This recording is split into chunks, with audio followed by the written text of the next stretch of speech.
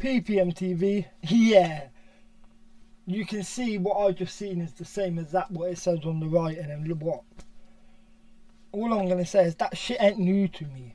This shit ain't new to anybody that's been supporting the Palestinians and it definitely ain't new to the Palestinians.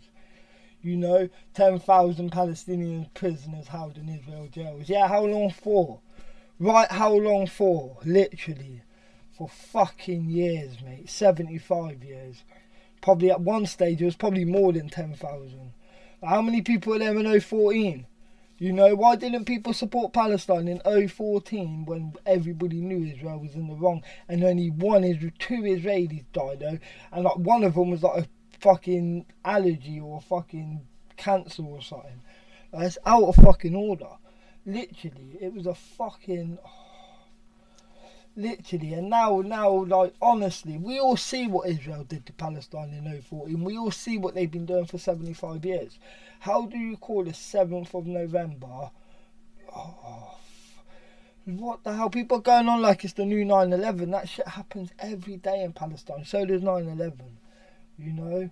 You lot need to start thinking about, stop dehumanizing people and start thinking about other people, you know, other than their skin color, you know, other than their culture, what they believe in. Like, who gives a fucking shit? As long as my family's happy and other people are happy, I don't give a shit. But the fact of the matter is, I can't live my life knowing that there's people that want to have a life like me and want to be able to have a nice watch and nice true religion clothes, but they ain't got a fucking, they can't even drink. Can't even fucking drink, man. It's out of order, man. It burst my bubble. Burst my bleeding bubble, man. These Zionists, man, they're evil. They're something else. They are evil.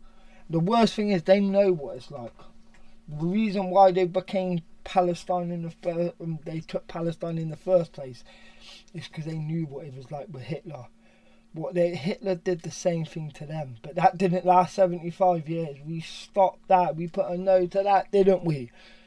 And then we let them do it to Palestine within months later. Like what the fuck? Like England, America, we need to fix this. We fucking did it. We gave them the weapon. Well, they America gave them the weapons. We put them there. You know why? hit the sub button, man. Literally, I've been reacting and reacting. I've been fucking trying to support, plus working, plus trying to do my YouTube, you know? It's like, literally, you think I can fucking live my life when there's kids right now that can't fucking, that, that being occupied without water? Hit the sub button.